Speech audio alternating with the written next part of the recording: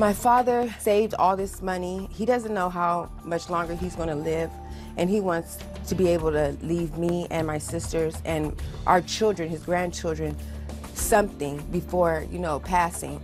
And so he saved about almost $70,000.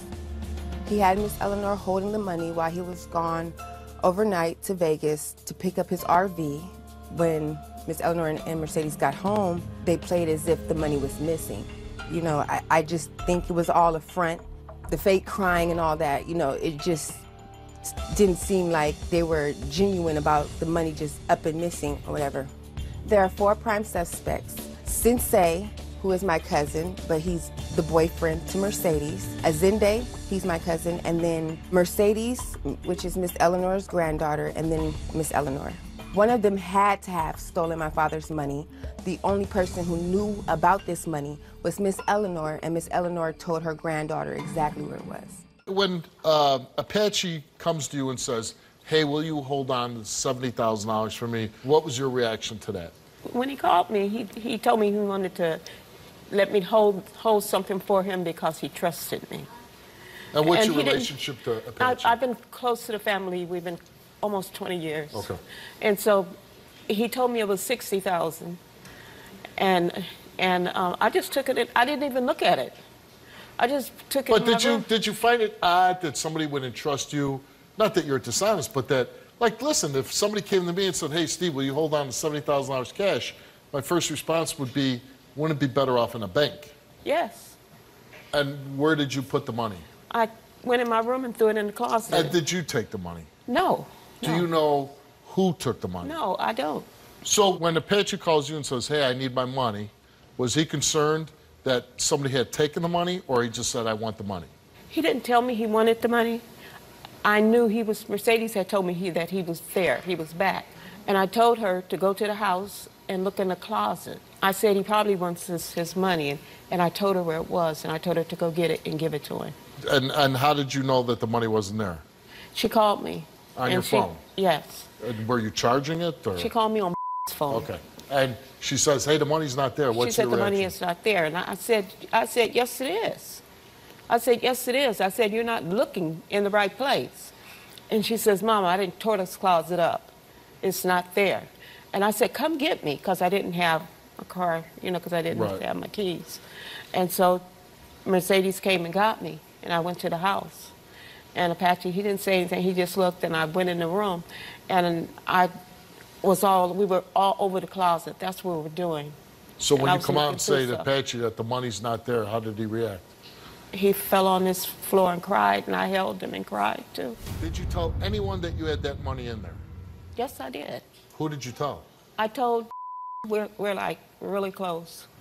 Why would you tell anybody that you had that much money in Well, there? a lot more people than that. Yeah, well, she I was, a I lot was, more I people was than venting. that. I was venting because I was upset because I had to keep calling for rides, and so that's when I asked Patchy to loan me the money, so that I could get the my a, a new key made. Oh, you asked for $200. Yeah. So And I could what did he the, say? He said no. So you were mad at him. Hi, Steve. Hi, Dominic. I'm not playing with this bitch or this woman right here. I want my daddy. You're, you're playing- I want my daddy money.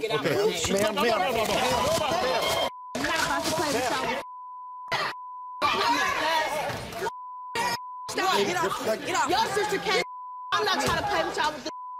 What? Get off. Stop playing with me, That Mercedes. your Put sister your hand came on at my me putting her hands up. think she's pregnant. You You think think she's she's pregnant, pregnant, right? Keep your hands off people. she's not. I don't care about none of that. Keep your hands off people. Keep your hands off I people's didn't money. take your daddy money, girl. Yeah, touch your daddy money. Do you have any idea who stole the money? No, I do not. Okay. Now, uh, there's another guy here, and his name's what? Zende? Zende. Let's bring him out.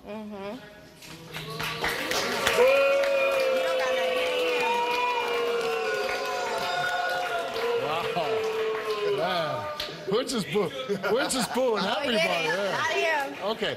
So Zende, I and I don't know why they're booing you, because basically everybody's been, and- and I believe me, because you even said really he had no access. Of course not. Yeah, he didn't have no whereabouts. He didn't know it was any money, so he doesn't Did know you know the money money was in the house? No, sir. Why do you, how are how are you, getting involved with this? How are you being accused? I guess I went the day it came up missing. You were at the house the day it was missing.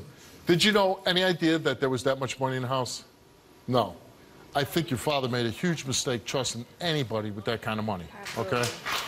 Um, and then number two, you made a huge mistake by letting your emotions over $180 get the best of you and telling all these people that the money was in your house. That is just an invitation to bum rush that money. Mm-hmm. Okay? But then, whoever did take this money, I'd say, what a dirtbag, right? The one guy that I really believe didn't have anything to do with this taking the money is Azende. And Azende came here and took a lie detector test. And we asked him, did you take any of Apache's missing money? He answered no. Do you know for sure who took any of Apache's missing money? He answered no. The results of this of his lie detector test is that Azende told the truth. Mm-hmm.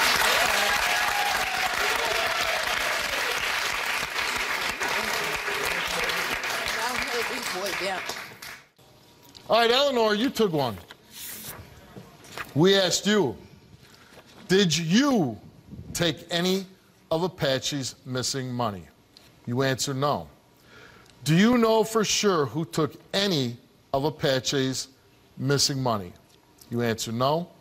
Results came back the same to each question, and it came back that Eleanor told the truth. Sensei took a lie detector test. We already know it's the truth. Sensei, we asked you, do you know for sure who took any of Apache's missing money? You answered no. Did you take any of Apache's missing money? You answered no. Do you know where any of Apache's missing money is now? You answered no. The results came back the same to each question, and it came back that Sensei told the truth.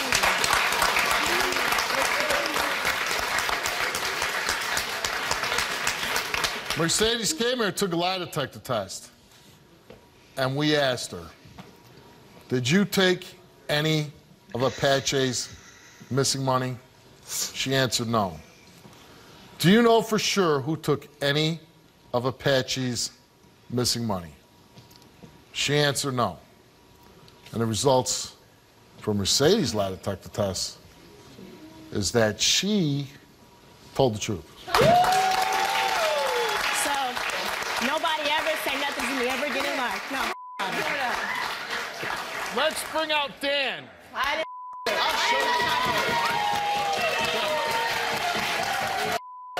come out or go. Dan. So that means that there's a lot of people Okay. who need to be tested. Okay, now it's Dan's turn. Uh, really, uh, a story that, I, I mean, bad decisions all the way around. Keeping that kind of money in a, in a, in a bag in a room, uh, and then telling people, hey, I got $70,000 in my closet, right? Like, you might as well not even lock the doors to your house because people are coming in, right? So, Steve, you know, as a police officer, you must have investigated thousands of thefts. As a uh, polygraph examiner and private investigator, likewise, thousands of thefts. So, we always start with the inner circle, the people that had access and that were the closest to the subject and to the money. We've been able to clear this suspect pool with the polygraph. So now the next step would be to expand to some of the peripheral players because there's a lot of people that apparently come in and out of this house. So we haven't tested all of the suspects yet. Thank you, Dan. Thank you. Um,